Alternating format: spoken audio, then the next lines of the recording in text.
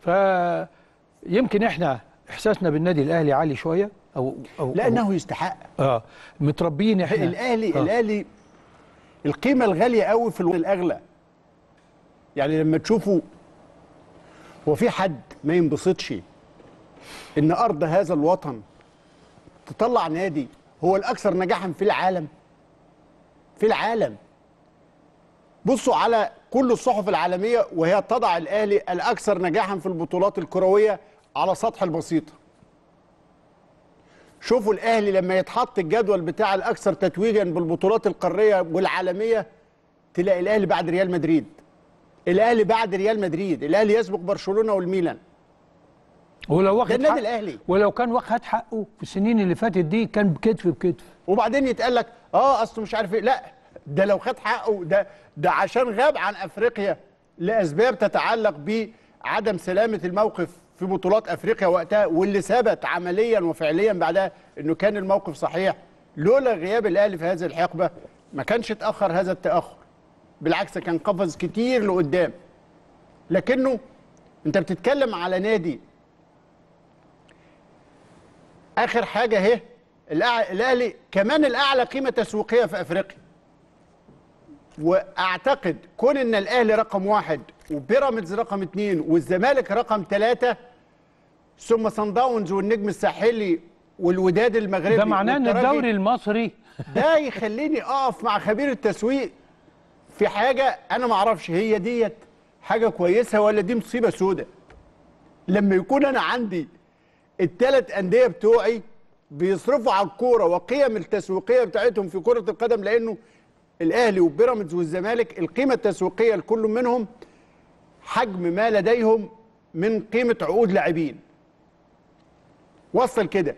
يكون أعلى من صن داونز الجنوب افريقي الأهلي كام؟ الأهلي 32 32 وبيراميدز 21 والزمالك 20 مليون دولار طبعا.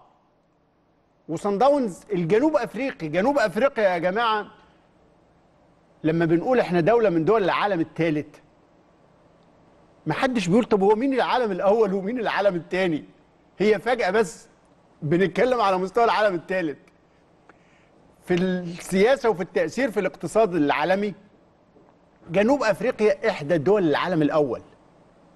أمريكا وأوروبا الغربية دول العالم الأول ومضاف إليها جنوب أفريقيا. وكان وقت وقت أوروبا الشرقية طبعا والباقي بقيه آسيا كلها دول العالم الثاني والباقي الفقراء العالم الثالث فجنوب أفريقيا تكون إحدى دول العالم الأول بحجم تأثيرها في الاقتصاد العالمي وحجم قوتها عالميا هي دول إحدى دول العالم الأول. صن داونز ناديها الأبرز يجي بعد الرابع بعد الأهلي والزمالك وبي- الأهلي وبيراميدز والزمالك. ده معناها إيه؟ دي حاجة كويسة ولا حاجة وحشة؟ أنا بسألك ده كويس؟ أنت خبير ما أنا هجاوبك أهو. آه. ما هجاوبك. كويسة لما تنطبق شروط السلامة المالية. أيوه. وهي لا تنطبق إلا على النادي الأهلي. أيوه. بدليل الغرامة اللي جت على اتحاد الكورة. إنه إدى آه، إنه طلع الرخصة التي لا تتفق مع معايير السلامه المالية. ما كانش الأندية عليها فالنادي فلوس. الوحيد اللي واخد هذه الرخصة هو النادي الأهلي. إذا لما يتقال إن النادي الأهلي 31 مليون. 32 مليون. 32 مليون يورو ها؟ آه. وتنطبق عليه السلامه المالية ها؟ ده هو بقى لو كان ما تنطبقش عليه السلامه المالية كان زمانه 50 مليون يورو. فاهم إزاي؟ لو صرف 50 مليون آه. أو 60 مليون. أيوه يو- ما تنطبقش عليه. أيوة. لكن انت معناها إيه السلامة المالية؟ أيوه. ان ما عليكش دي- مديونيات لحد. ما وكلش حقوق حد. ان ما عليكش قضايا خاضعة لانك واكل حقوق حد. ان ميزانيتك تعبر حقيقة عن موقفك آه، آه، آه، في رعاية كرة القدم لديك بشكل سليم. حاش له حقوق عندك.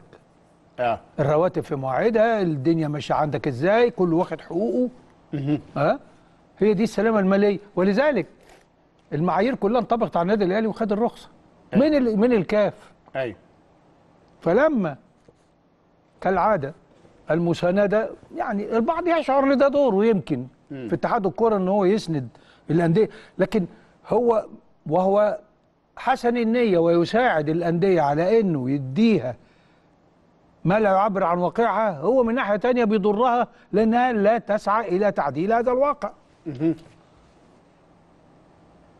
لما تيجي كل غرامة تدفعها بالنيابة عني ما هو أنا مش ما عنديش مشكلة بقى إن أنا ما- ما- آه، آه، موقفي المالي آه، أحاول أظبطه بالمعايير ال- ال- ال- السلامة المالية أو الشفافية المالية. فهو كويس ومش ومش كويس. كويس يبان إن في اهتمام بكرة القدم وفي إنفاق بهذا الحجم على كرة القدم في مصر. بس ده كان المفروض أن يستتبعه إيه؟ التناقض هنا. ما هو الوضوح والغموض. أيوه. إنك أنت لما يبقى أول ثلاث أندية على مستوى القارة قيمة تسويقية أهلي بيراميدز زمالك ده معناها إن الدوري بتاعك هو ال- الأغلى في العالم. وهو الأقوى على مستوى العالم. فيعني المفروض إنك أنت ما يبقاش عندك مشكلة واحدة. يبقى أنت كده المفروض إن أنت وأنديتك أين الحقوق المالية بقى بتاعت يعني أنا لما هو أنا لما لما تيجي كل مرة مهدد إن الدوري يقف أو الماتشات تتأجل أو ما ما فيش جماهير أو ما فيش إذاعة فين أنا دفاعا دفاعك عن حقوقي أنا اتحاد الكره كنادي بينفق على كرة القدم وبيمدك بعناصر المنتخب آه القومي. فين فين؟ ما بتدينيش ليه؟ ما ما يعني يدعمني ماديا إن أنا أستمر في هذه السياسة السليمة أيوة. وأنميها. أيوه. أنا مش متمكن إن أنا لا أبيع season ticket ولا آه، آه، أعمل تذاكر عشان جمهوري يخش لي وبالتالي حتى القيم التسويقية بقت مبنية على التلفزه والبث ال- الفضائي فقط. وبعض الأوت دورز والحاجات دي ال- ال- ال- الإعلانات الخارجية. فأرجو أن تدار كرة القدم وده اللي بيخلي يعني إزاي الدوري المصري لحد النهارده ما فيش رابطة آه، الأندية. إزاي؟